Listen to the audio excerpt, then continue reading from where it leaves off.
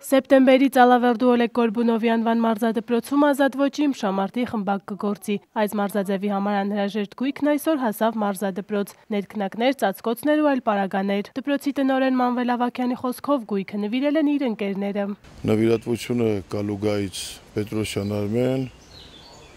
մեկ էլ մեր Գիգոլյան Գագիկի հետ միասին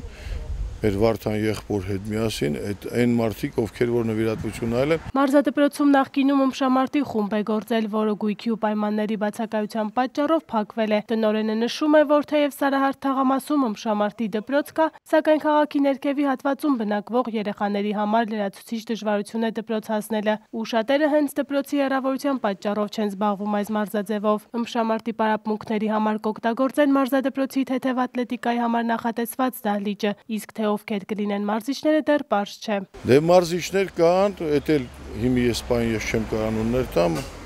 ընտրությունը միանշանակ պետք է լի քաղաքապետը ճշտելով, որակական խնդիրները նայելով ընդունենք աշխատանքի։ Մարզադպրոցում հիմա գործում են ֆուտբոլի աղջիկների եւ տղաների ձեռքի գնդակի խմբեր։ Սլավիկ Հանիսյանը մարզադպրոցի սաներից է, ասում է դեռ չգիտի իմ շամարտով կզբաղվի թե ոչ, բայց շատ կցանկանար, որ բոլոր մարզաձևերից խմբակներ լինեին։ Սպորտով զբաղվելը շատ կարևոր է Սլավիկի համար։ Օրինակ բոքս, UFC, որ շատ կուզեի էր, ես է կուզեի հաճախեի